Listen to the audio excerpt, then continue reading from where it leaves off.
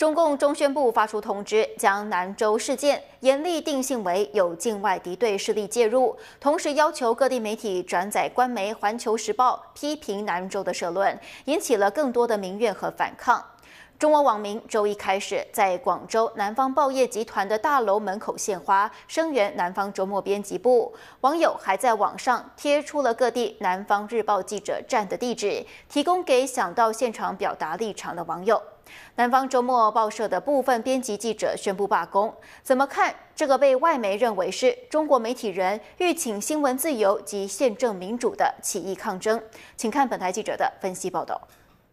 南方周末二零一三年新年献词被篡改，违反出版程序事件，官方媒体避而不报，微博世界却是相当热闹。声援南方周末行动得到来自媒体同行、律师、学者、高级学生、作家、企业家、演艺人士以及中国网民的广泛支持。有媒体指称，声援的南州事件逐渐演化为一场欲请新闻自由以及宪政民主的抗争运动，像是媒体人的起义到来。不过，南方周末新浪官方微博一月六号晚间发表声明，指称新年特刊导言不是早先媒体人传出的，是广东省委宣传部部长妥正操刀，而是报社负责人曹拟。在此之前，南州官方微博管理人吴卫已经通过个人微博透露，南州官方账号他已上交给上级相关负责人毛哲，他不再对今后发布的内容负责。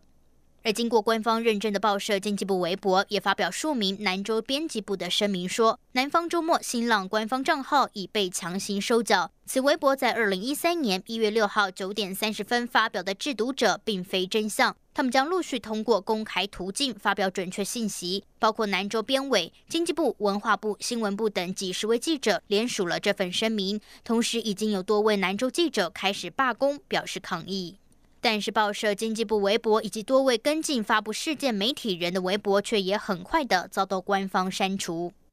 我九十年代曾经在一个中央部委的报纸做过。总编室主任，像这种情况是很常见。但是呢，现在是一个自媒体的时代，并且呢，大家的这个名字呢，也已经不是那个时代了。但是这帮子官员呢，还是采取那种管理媒体的方式，认为媒体嘛，就都是他们的领域，他们想干啥就干啥，他们就忽略了现在这个时代的一个特点。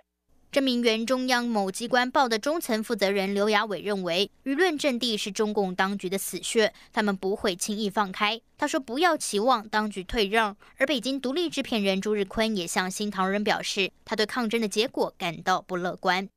我觉得现在也还不能非常乐观，因为虽然说有不少的人在声援，然后南方周末他们本身的。很多人也出来表示自己的态度，就是实际上可能很多人只是希望解决本身这个问题，而并不一定是说争取一个完全的新闻的自由。而中国新媒体人北风向德国之声表示，媒体人会提出什么样的诉求，将决定事件未来走向和意义。他们罢工这种激烈的行为，路能走多远，这要看他们的决心和勇气。